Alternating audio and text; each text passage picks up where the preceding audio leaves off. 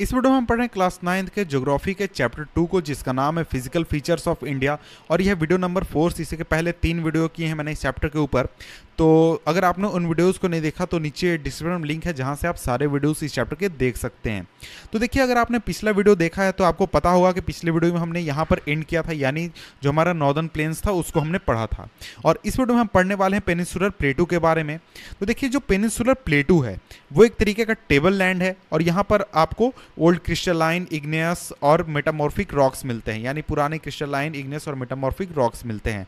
तो ये चीज़ तो आप समझ गए, लेकिन यहाँ पर टेबल लैंड को आप समझ नहीं पा रहे होंगे कि आखिर ये टेबल लैंड क्या होता है। तो देखिए, टेबल लैंड को सिंपली हम एक तरीके से कह सकते हैं कि जिस तरीके से टेबल होता है कि बिल्कुल टेबल आप मान लीजिए अपने रूम में रखते हैं तो क्या क्या होता है, रूम का सरफेस काफ़ी लो होता है, फिर और टेबल जो होता है वो काफ़ी हाई होता है। तो बिल्कुल इसी तरीके का स्ट्रक्चर हमारा प्लेटो का भी होता है, जो हमारा पेनिसुलर प्लेटो है, बिल्कुल ऐसा ही स्ट्रक्चर है। तो एग्ज़ाम्पल मैं आपको एक दिखाता हूँ तो देखिए यहाँ पर जैसा कि इमेज आप देख सकते हैं, इसमें एक तरफ़ बिल्कुल लो लैंड है, बिल्कुल फ्लैट लो लैंड है, लेकिन वहीं जो हमारा प्लेटो रीजन है, वो बहुत बहुत ही अचानक एकदम राइज हो गया, बहुत ही ऊँचा उसका सरफेस है। और उसका राइज बिल्कुल फ्लैट है। तो इसी को हम टेबल लैंड कहते हैं। तो बिल्कुल ऐसा ही स्ट्रक्चर हमारे पेनिसुलर प्लेटू का भी है। तो इसके बाद अगर हम आगे बढ़ते हैं तो आखिर इसका फॉर्मेशन कैसे हुआ? तो इसका फॉर्मेशन हुआ था गोंडवाना लैंड से जब टूट कर ये पूरा हिस्सा जब ड्रिफ्ट हुआ तो इस वजह से तो जो गुंडवाला लैंड का हिस्सा था, वो जब टूटा तो उसी से इसका फॉर्मेशन हुआ। और ये ओल्डेस्ट जो लैंडमास है, उसका एक हिस्सा है। और ये जो प्लेटू है, इसके बहुत ही ब्रॉड इसमें बहुत ही आपको ब्रॉड और शैलो वैलीज मिल जाते हैं राउंडेड हिल्स मिल जाते हैं। ये सभी इस रीजन में मौजूद है पेनिसुलर प्लेटू में मौजूद हैं। और ये देखिए, ये जो पूरा पेनिसुलर प्लेटू है, इसके हम दो ब्रॉड डिविजन्स कर सकते हैं, दो हिस्सों में बांट सकते हैं, जिनका नाम है सेंट्रल हाईलैंड और डेक्कन प्लेटू तो इन दोनों के बारे में हम अलग अलग पढ़ेंगे तो देखिए, जो हिस्सा है पेनिसुलर प्लेटू का, जो कि नर्मदा रिवर के नॉर्थ में है, उसे हम जिसमें कि आपका मालवा प्लेटू आ जाता है, उसको हम सेंट्रल हाईलैंड कहते हैं। और ये जो रीजन है, इसके आपके साउथ में आपको विंध्या रेंज मिल जाता है, और इसके नॉर्थ ईस्ट में, नॉर्थ वेस्ट में आपको अरावली मिल जाता है। और इसका जो फर्दर वेस्टवर्ड एक्सटेंशन है, वो आपको सैंडी और रॉकी डेजर्ट जो है राजस्थान का रेगिस्तान वहाँ पर जाकर मिलता है। और इसमें जो नदियाँ बहती हैं इस रीजन में, वो हैं चंबल, सिंध, बेतवा और केन। और इसका जो एक तरीके से स्लोप है, इस, इन नदी का जो बहाव है, वो साउथ वेस्ट से नॉर्थ वेस्ट की तरफ़ है। और इसी से हमें पता चलता है कि इस पूरे रीजन का स्लोप कैसा है। तो इस पूरे रीजन का स्लोप साउथ वेस्ट से नॉर्थ नॉर्थ ईस्ट की तरफ़ है। सॉरी नॉर्थ वेस्ट मैंने कह दिया। तो इस चीज़ को हम थोड़ा सा इमेज के ज़रिए देख लेते हैं, ताकि आपको ये चीज़ अच्छी तरीके से समझ में आए। तो यहाँ पर आप देख सकते हैं कि हमारे सामने इमेज है इंडिया का। और इसमें यहाँ पर आप देख सकते हैं कि यहाँ पर आपका नर्मदा रिवर है। तो यहाँ पर आपका ये नर्मदा रिवर है। तो इसके ऊपर ये जो पूरा इलाका है, ये आपका हो जाता है सेंट्रल हाईलैंड और इस नर्मदा रिवर के नीचे जो ये जो पूरा इलाका है, ये आपका हो जाता है डेक्कन प्लेटू। तो इसी को जो हमारा पूरा पेनिसुलर प्लेटू है, इसको हम दो हिस्सों में बांटते हैं। नर्मदा रिवर इसका बॉर्डर है सॉरी, इसको दो हिस्सों में बांटता है। नीचे हो गया डेकन प्लेटू, ऊपर हो गया सेंट्रल हाईलैंड। और इसी को अगर हम देखें तो यहाँ पर अगर आप ध्यान देंगे तो आप पाएँगे कि ये जो सेंट्रल प्लेटू है सॉरी, सेंट्रल हाईलैंड है, इसके आपके नॉर्थ वेस्ट में आपको यहाँ पर अरावली रेंज है, और इसके साउथ में आपको यहाँ पर विंध्या रेंज है। और यही आपको वहाँ पर बताया गया है कि विंध्या रेंज यहाँ पर है और यहाँ पर अरावली रेंज है। और यहाँ पर देख सकते हैं, इस सेंट्रल हाईलैंड से आपको चंबल नदी निकलती है, केन नदी निकलती है यहाँ पर, बेतवा नदी निकलती है और भी बहुत सारी नदियाँ निकलती हैं। तो इसी चीज़ की यहाँ पर बात की गई थी हमारे टेक्स्ट बुक में। और इसी को अगर हम बात आगे करें तो जो सेंट्रल हाईलैंड है, वो वेस्ट में काफ़ी वाइड है और ईस्ट में काफ़ी ये नैरो हो जाती है। तो यहाँ जैसा कि इमेज में आप देख सकते हैं इमेज में कि देखिए इस रीजन में, यानी वेस्ट रीजन जो है, वहाँ पर ये जो पूरा सेंट्रल हाईलैंड है, यानी यहाँ पर जो सेंट्रल हाईलैंड है वो काफ़ी चौड़ा है, इतना चौड़ा है। लेकिन जब ईस्ट में हम जाते हैं तो सेंट्रल हाईलैंड वो आपको काफ़ी पतला हो जाता है, इस रीजन में देख सकते हैं, काफ़ी पतला हो जाता है। तो देखिए, इस रीजन का जो ईस्टवर्ड एक्सटेंशन है, इस प्लेटू का, उसे हम बुंदेलखंड और बाघेलखंड के नाम से जानते हैं, जिसका लोकल नाम यही है। और जो छोटा नागपुर प्लेटू है, वो इसका और भी फर्दर ईस्टवर्ड एक्सटेंशन है। यानी इसी जो हमारा मालवा प्लेटू है, या फिर जो सेंट्रल हाईलैंड है, उसका ईस्टवर्ड एक्सटेंशन है हमारा छोटा नागपुर प्लेटू और इसमें से आपको दामोदर रिवर निकलती है। तो यहाँ पर उसको भी हम इमेज के ज़रिए देख लेते हैं। तो देखिए, ये जो आपका रीजन है, जहाँ पर मैंने ब्लैक से इसको मार्क किया, फिर से मैं दिखा देता हूँ। तो ये जो पूरा रीजन है, ये रीजन ये जो पूरा रीजन है, ये आपका छोटा नागपुर प्लेटू है और ये भी आपके सेंट्रल हाईलैंड का हिस्सा है। और सेंट्रल हाईलैंड का हिस्सा जो है, वो आपको नॉर्थ ईस्ट रीजन में भी देखने को मिल जाता है, यानी इस रीजन में। ये जो आपका यहाँ पर ब्लैक कलर यहाँ पर मैंने दिखाया, ये रीजन जो है आपका, ये भी आपके सेंट्रल हाईलैंड का ही हिस्सा है, लेकिन वो इसके, इससे टूटा हुआ है इससे अलग है। तो हमने सेंट्रल हाईलैंड के बारे में तो पढ़ लिया, अब हम पढ़ते हैं डेक्कन प्लेटू के बारे में। तो देखिए, जो डेक्कन प्लेटू है, वो एक तरीके का ट्राइंगुलर लैंडमार्क है, जो कि नर्मदा रिवर के साउथ में स्थित है। तो अभी हमने मैप में देखा कि डेक्कन प्लेटू कहाँ स्थित है, और उसका साइज़ आप देखेंगे, स्ट्रक्चर आप देखेंगे तो वो आपको ट्राइंगुलर देखने को मिलेगा। और इसके नॉर्थ में नॉर्थ बॉर्डर पर आपको सतपुरा रेंज स्थित है और वहीं इसके आपको जो ईस्टर्न रीजन है, वहाँ पर आपको महादेव पहाड़ियाँ या फिर कैमूर हिल्स या फिर मैका, मैकल हिल्स आपको देखने को मिल जाएँगे। और इसको आप चाहें तो एक तरीके से मैप में देख सकते हैं। और डेक्कन प्लेटू की अगर हम बात करें तो डेक्कन प्लेटू जो है वो उसके वेस्ट रीजन का जो हाइट है वो ज़्यादा है ईस्ट रीजन से और स्लोप जो है वो वेस्ट टू ईस्ट है। तो ये इस चीज़ को मैं थोड़ा सा एक्सप्लेन करने की कोशिश करता हूँ। तो देखिए, मान लीजिए ये आपका सेंट्रल सॉरी डेक्कन प्लेटू है। तो इसका जो ईस्ट रीजन है सॉरी वेस्ट रीजन है और इसका जो ईस्ट रीजन है तो वेस्ट रीजन में डेकन प्लेटू का हाइट ज़्यादा है और इसके ईस्ट रीजन में हाइट कम है। तो इस तरीके का स्ट्रक्चर है आपके पेनिसुलर प्लेटू का। जो वेस्ट रीजन है, वहाँ पर हाइट आपको ज़्यादा है और ईस्ट रीजन में इसका हाइट कम है। तो इसको अब अब आगे देखते हैं। तो देखिए जो इस प्लेटू का एक एक आपको नॉर्थ ईस्ट रीजन में भी देखने को मिल जाएगा, जिसे कि लोकली मेघालय या फिर कार्बी आंगलोंग प्लेटू कहा जाता है या फिर नॉर्थ काचर हिल्स कहा जाता है। और इसको एक तरीके से फॉल्ट या फिर भ्रंश के ज़रिए ये टूट कर अलग हो गया छोटा छोटा नागपुर प्लेटू से। और इसमें तीन आपको प्रोमिनेंट हिल्स देखने को मिल जाते हैं, जो कि है गारो खासी और जैंतिया तो इस चीज़ को मैं आपको मैप के ज़रिए दिखाने की कोशिश करता हूँ। तो यहाँ पर आप देख सकते हैं तो ये जो रेड आपको यहाँ पर मार्क देखने को मिल रहा है, यहाँ पर यहाँ पर और यहाँ पर। तो ये जो है, आपको गारो, खासी और जैतिया आपको पहाड़ियाँ हैं। तो इसको अब हम आगे कंटिन्यू करते हैं। तो इसके बाद आगे चलते हैं और आगे कुछ चीज़ें पढ़ते हैं। तो देखिए जो वेस्टर्न घाट्स हैं और जो ईस्टर्न घाट्स हैं, वो एक तरीके से वेस्टर्न और ईस्टर्न एजेस पर स्थित हैं डेक्कन प्लेटू के। और जो वेस्टर्न घाट है, वो एक तरीके से वेस्टर्न कोस्ट के पैरल में है और वो एक तरीके से कंटिन्यूसली उसके साथ पैरेलली में ऊपर से नीचे तक है। और यहाँ पर आपको अगर आप इन रीजन्स को पार पार करना चाहते हैं वेस्टर्न घाट्स को पार करना चाहते हैं तो आप इनको सिर्फ़ पासिस के ज़रिए ही पार कर सकते हैं। और मैप में आप चाहें तो कुछ इंपॉर्टेंट रीजन जैसे थाल, भोर या फिर पाल घाट्स को एक तरीके से इंडिकेट कर सकते हैं या फिर देख सकते हैं। तो देखिए, वेस्टर्न घाट की बात करें तो वेस्टर्न घाट जो है वो हाई हाइयर है ईस्टर्न घाट से। तो देखिए, अभी जैसे मैंने बताया कि जो पेनिसुलर प्लेटू है, वो वेस्टर्न रीजन में उसकी हाइट ज़्यादा है ईस्टर्न रीजन के मुकाबले। तो उसी चीज़ को अगर आप यहाँ पर देखें तो जो वेस्टर्न घाट है, उसकी हाइट भी ज़्यादा है ईस्टर्न घाट के मुकाबले। और जो वेस्टर्न घाट है, उनका एवरेज एलिवेशन है वो 900 से 1600 मीटर है। वहीं जो आपका ईस्टर्न घाट है, उसका एवरेज एलिवेशन है 600 मीटर। जो ईस्टर्न घाट है, वो महानदी वैली से शुरू होती है और ये नीलगिरीज तक जाती है साउथ में। और ईस्टर्न घाट की बात करें तो ईस्टर्न घाट काफ़ी डिसकंटिन्यूस है और इरेगुलर है। उसका रीज़न ये है कि बहुत सारे रिवर्स ने इसको कई सारे जगहों से काट दिया है, कई जगहों से तोड़ दिया है बे ऑफ़ बंगाल में। और जो वेस्टर्न घाट है, वो एक तरीके से ओरोग्राफिक रेन को कॉज करते हैं। उसका रीज़न यह है कि जो विंड होता है जो कि मॉइस्ट एयर uh, को अपने साथ लाता है वो वेस्टर्न स्लोप से टकराकर इस रीजन में काफ़ी uh, बारिश कराता है काफ़ी वर्षा कराता है। और जो वेस्टर्न घाट्स हैं उनको बहुत सारे अलग अलग लोकल नाम से भी जाना जाता है।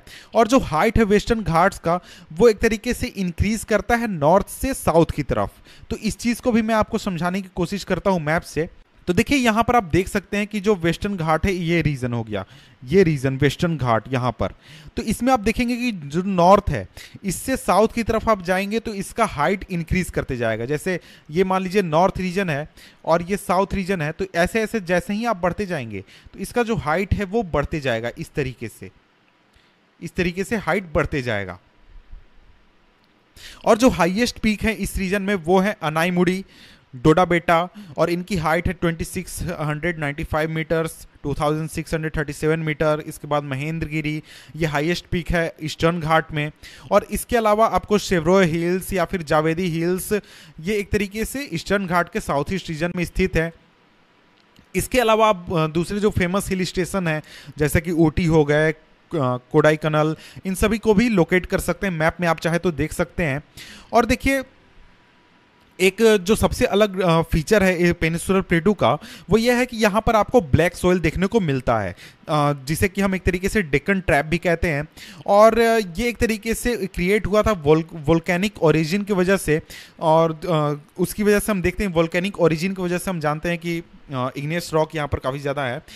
तो एक्चुअली जो ये जो रॉक है ये कई साल हाँ, कई सालों तक कई लाखों सालों तक एक तरीके से टूट कर या फिर हम कह सकते हैं काफ़ी समय से प्रोसेस होकर ये एक तरीके से ब्लैक सोइल का इन्होंने निर्माण किया है। और जो अरावली हिल्स हैं वो वेस्टर्न और नॉर्थ वेस्टर्न मार्जिन पर स्थित है। पेनिसुलर प्लेटू के, और ये जो एक तरीके से रीजन है, और ये जो हिल्स है, ये काफ़ी इरोड हो चुके हैं और काफ़ी एक तरीके से ब्रोकन हो चुके हैं कई जगहों पर। कितने सालों तक प्रोसेस होने की वजह से विंड की वजह से और भी दूसरी चीज़ों की वजह से। और ये जो हैं, ये एक्सटेंड करते हैं गुजरात से दिल्ली तक south west to north west north west north east direction में। तो इसके बाद अब हम आगे बढ़ते हैं और पढ़ते हैं इंडियन डिजर्ट के बारे में। तो देखिए, जो इंडियन डिजर्ट है, वो अरावली हिल के वेस्टर्न रीजन्स में लाई करता है वेस्टर्न डायरेक्शन में लाई करता है और ये एक तरीके का अनड्यूलेटिंग सैंडी प्लेन है।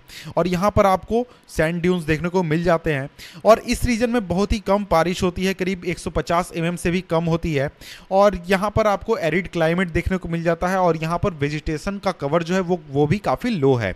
और यहाँ पर जो स्ट्रीम्स हैं, वो अपियर होती हैं रेनी सीज़न में, लेकिन ये तुरंत ही गायब हो जाती हैं, तुरंत ही डिसअपियर हो जाते हैं क्योंकि यहाँ पर इनको इतना पानी नहीं मिलता कि ये सी तक पहुँच सके या फिर आपको समुद्र तक पहुँच सके।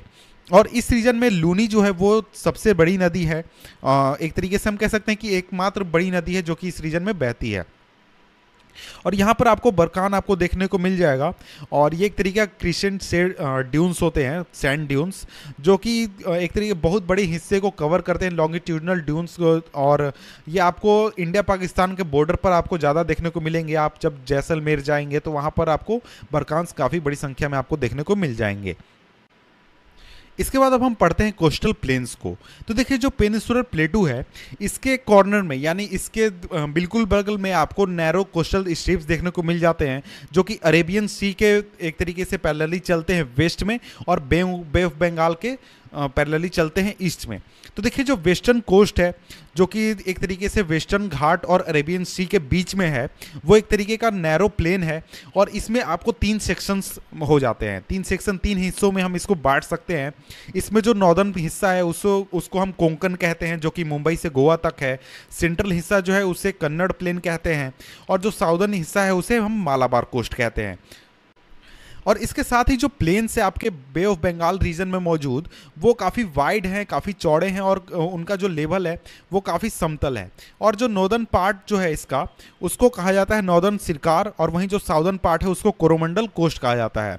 और इसके साथ ही जो बड़ी नदियाँ हैं, जैसे कि महानदी, गोदावरी कृष्णा, कावेरी, इन सभी ने इस पूरे रीजन में इस कोस्ट पर बहुत ही बड़े बड़े डेल्टा क्रिएट कर दिए हैं। और लेक चिल्का जो है, वो एक तरीके का बहुत ही इंपॉर्टेंट फीचर है ईस्टर्न कोस्ट में बहुत ही इंपॉर्टेंट है। और यहाँ पर एक चीज़ आपको जान ले, जान लेनी चाहिए कि जो चिल्का लेक है, वो इंडिया में लार्जेस्ट साल्ट वाटर लेक है। और ये उड़ीसा में स्थित है, जो कि एक तरीके से महानदी डेल्टा के साउथ में है। इसके बाद अब हम आगे बढ़ते हैं और पढ़ते हैं आइलैंड्स के बारे में। तो देखिए, यहाँ पर हमने इंडिया के बहुत बड़े रीजन्स को हमने कवर कर लिया। लिया जो मेन लैंड है उसको कवर कर लिया, हिमालयस को कवर कर लिया नॉर्दर्न प्लेन को कवर कर लिया पेनिसुलर प्लेटू सब कवर कर लिया। अब हम पढ़ने वाले हैं आइलैंड्स के बारे में। तो देखिए, जो इसके अलावा जो रीजन है, इन सभी रीजन्स के अलावा मेनलैंड इंडिया के अलावा इंडिया के पास दो तरीके, दो ग्रुप्स में आइलैंड है। दो ग्रुप्स कहने का मतलब है कि जितने भी आइलैंड्स हैं, उनको हम मेनली दो हिस्सों में बांटते हैं। पहला तो आपका लक्षद्वीप हो गया और दूसरा आपका अंडमान एंड निकोबार हो गया। तो आप चाहें तो लक्षद्वीप जो आइलैंड है, उसको लोकेट कर सकते हैं मैप पर, जो कि मालाबार कोस्ट है, केरला का। उसके, उससे काफ़ी नज़दीक है। ये जो ग्रुप है आइलैंड का, यहाँ पर आपको बहुत ही स्मॉल कोरल आइलैंड्स देखने को मिल जाते हैं। और शुरुआत में इन्हें, पहले इन्हें लक्षद्वीप मिनिकॉय एंड एमिनिडीव कहा जाता था। 1973 में इनको रीनेम किया गया था इंडियन गवर्नमेंट द्वारा और इसको फिर नाम दिया गया था लक्षद्वीप। तो देखिए, ये जो पूरा रीजन है, यानी लक्षद्वीप जो है, ये कवर करता है बत्तीस स्क्वायर किलोमीटर और कावरती जो है, वो एक तरीके का एडमिनिस्ट्रेटिव हेडक्वार्टर है लक्षद्वीप का। और ये जो आइलैंड है, इसमें आपको बहुत ही आपको डाइवर्सिटी देखने को मिलेगी फ्लोरा और फोना का। और इसके साथ ही जो पिट्टी आइलैंड है, जिसमें कि लोग एक तरीके से रहते वो अनइनहेबिटेड है, यानी वहाँ पर लोग नहीं रहते हैं, वहाँ पर एक बर्ड सेंचुरी भी है। तो यहाँ पर देखिए कोरल्स के बारे में बताया कि आप चाहें तो पढ़ लें। एग्ज़ाम में आपसे पूछा जा सकता है डेफिनेशन एक्सप्लेनेशन आपको दिया गया है। और एक तरीके से इसके साथ ही अगर आप देखें बे ऑफ़ बंगाल में तो आपको एक लंबा चेन देखने को मिलेगा आइलैंड्स का। और ये जो पूरा रीजन है, ये जो आइलैंड का ग्रुप है, इसे हम कहते हैं अंडमान एंड निकोबार आइलैंड्स और इनकी जो साइज़ है, ये काफ़ी बड़ी है, इनकी साइज़ बड़ी है। और इसमें या इस ग्रुप में बहुत ही ज़्यादा संख्या में आपको आइलैंड्स मिलते हैं और ये काफ़ी एक तरीके से अलग थलग है। और ये जो पूरा इंटायर रीजन है, इसको दो ब्रॉड कैटेगरीज में हम बांटते हैं। यानी पूरे आइलैंड ग्रुप को दो हिस्सों में हम रख सकते हैं। पहला तो अंडमान हो गया, जो कि नॉर्थ में है, और निकोबार, जो कि साउथ में है। और ऐसा माना जाता है कि ये जो आइलैंड्स हैं, ये सबमरीन माउंटेन्स के एक हिस्से हैं। तो सबमरीन माउंटेन्स क्या होते हैं, ये भी आप चाहे तो गूगल कर लें, लेकिन ये उतना इंपॉर्टेंट नहीं है, इसलिए इसको हम छोड़ देते हैं।